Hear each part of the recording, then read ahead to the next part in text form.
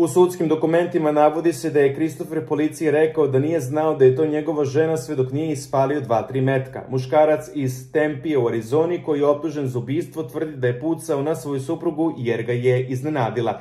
Policija i hitna pomoć došli su na adresu kolini Kristofera Hupsa 20. maja u 3.45 ujutru nakon dojave u pucnjavi. Kristofer 36 je sam pozvao policiju navodeći da ga je njegova supruga, inače po zanimanju balerina u baletu Arizone, iznenadila usred noći i da ju je potom upucao. Policija je zatekla ranjenu kolinu koja je prevezana u bolnicu, ali je kasnije proglašena mrtvom. Kristofer je optužen za ubistvo bez predumišljaja i nezakonito ispaljivanje oružja, a istraga još u toku, navodi People. U sudskim dokumentima navodi se da je Kristofer policiji rekao da nije znao da je to njegova žena sve dok nije ispalio dva, tri metka.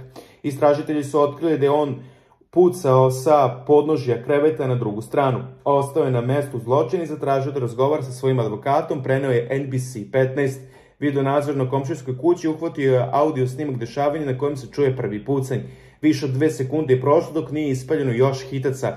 Colin je pogođena dva put u grudi. Kristofer je u pritvoru, kaucija mu je određena na 750.000 dolara, a na sudu bi trebalo da se pojavi uskoro. People navodi da je par bio u braku manje dve godine. Moglo se vidjeti koliko je radosna bila kad je plesala. U tome je pokazivala najviše radosti i slobode.